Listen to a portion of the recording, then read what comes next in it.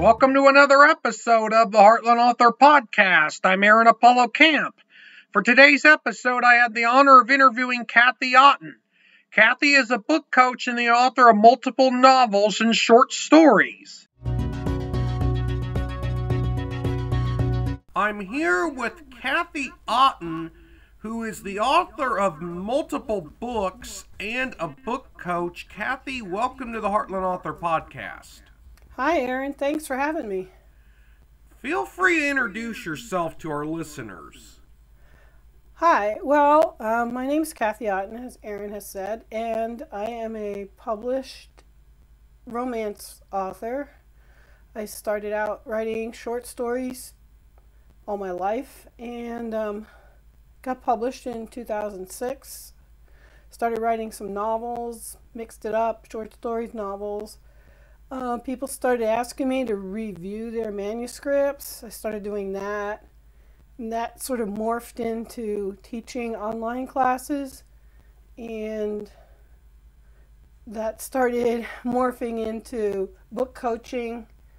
And I do some freelance editing too. Now, without spoiling too much of your books, what are each of your books about? Well, I have four novels out currently and a bunch of short stories. So they are mostly historical, American historical, from about the Civil War on through the free range cowboy era, which is ended around 1890, 18, I'm not sure, I forget exactly how that ended. Um, it was about a 20 year period for those cowboys. Um, and the last short story I actually wrote was a World War One story, so it kind of varies a little bit. But they're all romances, and uh, excuse me, I'm getting over a cold. Um, that's about it, I guess. They're romance, historicals, American cowboys, Civil War, sort of thing. Now, are all of your books self published, or all of your books traditionally published, or some self published and others traditionally published? Currently, they are all published traditionally through a small press. Um, there's several of them out there that are pretty good, and I've been published through them mostly since 2006. Now, as you've uh, written quite a few books, if you have a typical writing routine, what is that like? Chaos. I don't have a typical writing routine. uh, it's like grab time when I can. I, like I said, I've got a bunch of things on my plate. I do manuscript evaluations for people, so if I have something going on there, or if I'm doing some editing, I got that going on. Plus, I have a part time job currently. I was working full time up until last year. Um, so it's I try try to write my own stuff in the morning and work on my own things, and in the afternoon focus on the business end and other people's stuff. Try to, and then Saturday is usually kind of a catch up day, plus laundry, mow grass, that sort of thing. So try to grab one day a week for myself, usually on Sunday. But otherwise, it's just kind of like, but if I get behind, then my own writing gets pushed aside in order to get other things done. Now, is this job you referenced uh, uh, writing related or outside of uh, the writing and book industry? It's it's outside of it. Um, I sub as a teacher's aide. Um, so it's kind of a hit and miss thing, you know, because they'll call me at six in the morning and say, "Can you come in today?" So all my plans for that day kind of get pushed to the next day. So that's what I mean. It's kind of chaotic right now. I, you know, try to get in what I got to get in and highlight things that are priorities and try to focus on those first. So the novel I'm working on right now will have to you know, it kind of fits in where it can fit in. I don't know. It's chaotic. I don't have a set schedule. I try, but I don't have it. Do you plan on writing more books in the future? Oh yeah, I've probably got more ideas than I have time in the rest of my life to implement. um, I'm working on a book right now, another novel, and I'm probably three quarters. I probably got another twenty thousand words to work on. The rough draft is finished. it's just trying to make it readable from my crazy rough draft writing. And then, you know, then there's, I'll have to go through it again and then probably again. So it's going to take a while for that one to come out, but that's my next project for my own project. So that would be novel number five. And then there's probably going to be another short story in there and then another novel. I don't know. Just keep plugging away. There's there's tons of ideas out there, or in my head anyway. As an author who has written both short stories and novels, do you prepare differently to write a short story compared to preparing to write a novel? Um, with a, I, I tend to be a pantser, so I tend to kind of like just go with it. And over the years, I've kind of melded it more into the plotter because uh, it keeps you more on track. So for a novel, I'll spend more time working out goals and character arcs and things like that on paper first. And for a short story, because I already know it's short and just usually only have one goal or one plot line, it I can usually just write it but I always have an ending kind of in mind, a vague ending. So for a short story, I'll probably just, you know, pants it, just jump in. But for a novel, I've kind of gravitated into more, uh, some of the hard work first. You know, plotting and character arcs, that sort of thing.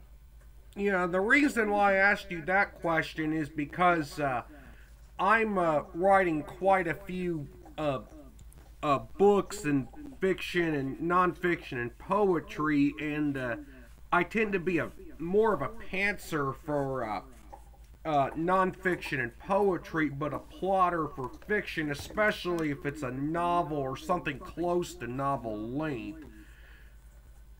Yeah, it, I, I give you credit for writing poetry. I can't write poetry if my life depended on it. Um, and some people think that poets have a better shot at hearing the cadence of words on the page before, as a fiction writer, before you go through a critique group and somebody's reading it out loud because you have a better sense of words. So kudos for that because it's something I more have to work on. But um, yeah, up plotting keeps you on track. And I probably would never sit down and write, you know, pages. People sometimes people page out like a hundred pages of outline where each chapter is going to go exactly, where each scene is going to go exactly. I don't, I, I don't think I could ever do that. But I do have character goals in mind, internal and external, and I do have the plot in mind and some of the subplots in mind. And so I'll just like pencil them out a little bit. This happens, then this happens, that kind of thing. So, but uh, yeah, plotting does keep you on track. So. Now, as you're a book coach, in addition to being an author, uh, for those of you who uh, might be listening to this podcast for the first time, what is a book coach, and then how do you work with fellow authors as a book coach?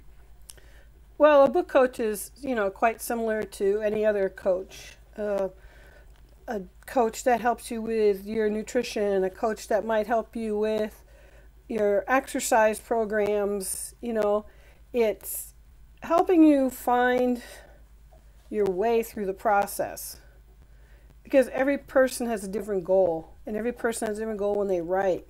So it's about finding what your goal is and helping you achieve that goal.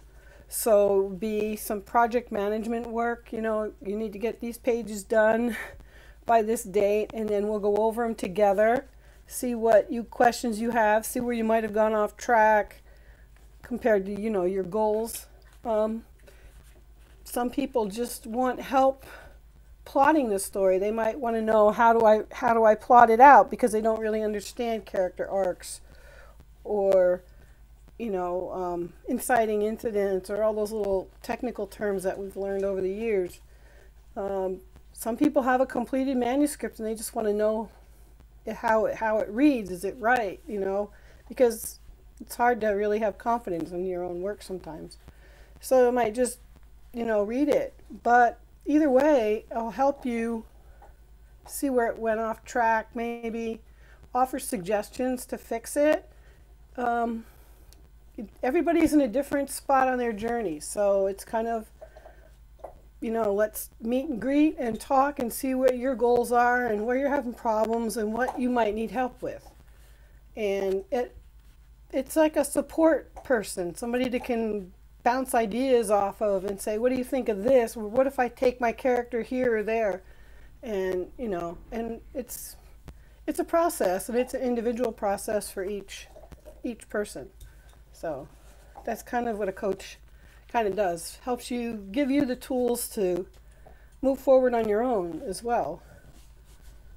So something like that, you know, individual. I want to apologize. There was some kind of vehicle that went down the street uh, uh, while I, by my house while I was uh, while you were answering the final question. But uh, Kathy, I want to thank you for appearing on the Heartland Author podcast. Okay, cool. Thanks. It was wonderful to interview Kathy, and my next podcast episode will be available to listen to on Friday. This is Aaron Apollo Camp reminding y'all to write your imagination. Bye for now. You can learn more about me and my book writing projects at authoraac.wordpress.com. You can also follow me on Facebook and Twitter at authoraac. You can also watch videos on the Heartland Author channel on YouTube. Copyright 2022, Aaron Apollo Camp, all rights reserved. This podcast episode is intended for the private listening of its audience. Any reuse or retransmission of this podcast episode without the express written consent of the podcast host is prohibited except under fair use guidelines. Royalty free music and sound effects obtained from https colon forward slash forward slash www.zapsplat.com.